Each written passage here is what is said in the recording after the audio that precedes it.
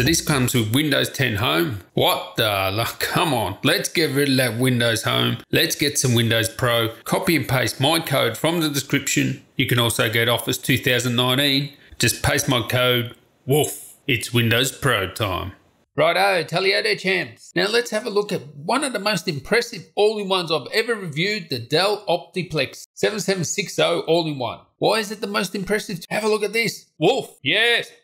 you can articulate the screen. You can push it right down there. It's not really for consumers. It's for Soho, like businesses, like home businesses, somewhere where you need just a computer for productivity or point of sale and stuff like that. This is what you get. And you can tell it's not made for consumer because you can get Intel vPro. It is really made for sort of enterprise work, office sort of stuff. Now, if you're a consumer, go to the Inspiron range because the Inspiron range you can get a graphics card. Now, as I said, this is the 7760. There is a new 7470 and 7770, which is the new one with the ninth generation CPUs. If you're going to get one, get one of those unless you pick up a deal on one of these because really it's just a bump in the CPU. Nice display on it. This 27 inch display, as I showed you, it articulates, it's touch. It's really weird because it's matte and touch. You have an option of 4K Full HD, Full HD Touch, and both Full HDs are matte. It is sort of strange to see a matte touch, but yeah, it works pretty well. The screen is good for what it's designed for, for office use and stuff like that. If you're an artist, you're not going to be using this sort of stuff, but, but in the office environment, this screen's perfectly fine. It's not the brightest thing around, and the viewing angles, because of that matte coating on it, it doesn't have the absolute best viewing angles, but for home, office, point of sale, it's perfectly fine. You can imagine using it in a cafe, yeah, pushing it down like that, have your point of sale software on there, boop, boop, boop, using it as a touchscreen, perfect. And it does have upgradability. You can upgrade it yourself. You can upgrade the RAM, two RAM slots, and one M.2. It does have two M.2 ones for the Wi-Fi. Of course, it has Wi-Fi and it has all these ports. I'll put a list of all the ports up there because there's a load of them. The only one really missing here is Thunderbolt 3. And you cannot get a graphics card in this. So I say, if you're a consumer and you want to game a bit or something like that, get the Inspiron all-in-one. But for Office, probably a good thing it doesn't have graphics because you don't want your workers with a computer that you can game on. That's a bad idea. But yeah, has HDMI in, out, has audio out, audio in, it has everything there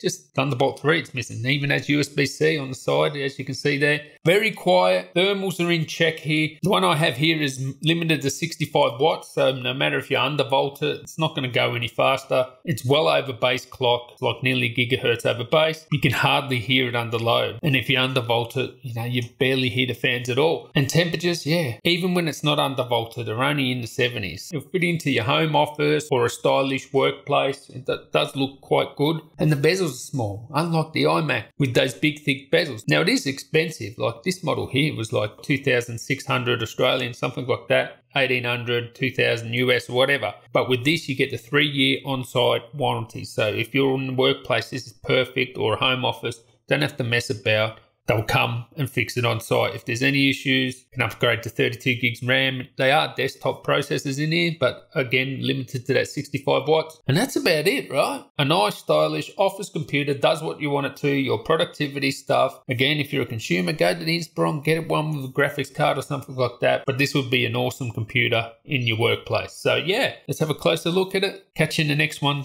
Tally ho. Okay, on idle, you cannot hear it well, slight bit of fan noise. Can you hear that? Let's pump it up. Let's prime it. And it is going 100% CPU now. You can see there, 100% CPU usage. Can you hear the difference? Like nothing. You can't even hear it under load. So it's amazing. And also that clock does not drop below base and temperatures are well controlled.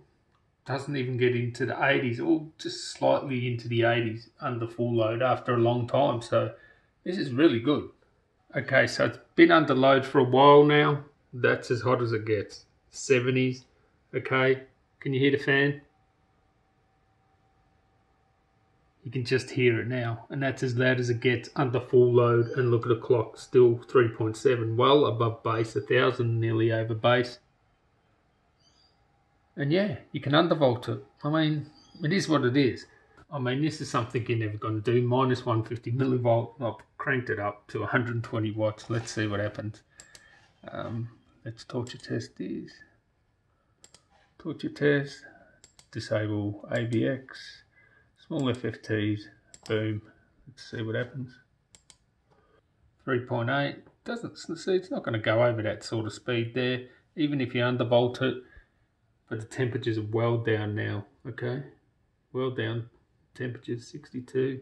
Wow, that's a big 10 degree drop there. Just doing that undervolt as you'd expect. But now it's whisper quiet and we're getting a 3.8. So no matter what you do, you're not going to get more than that 3.8, but no no noise, right? No noise, low temperatures. So yeah, you can undervolt it, but you know, it's an office thing.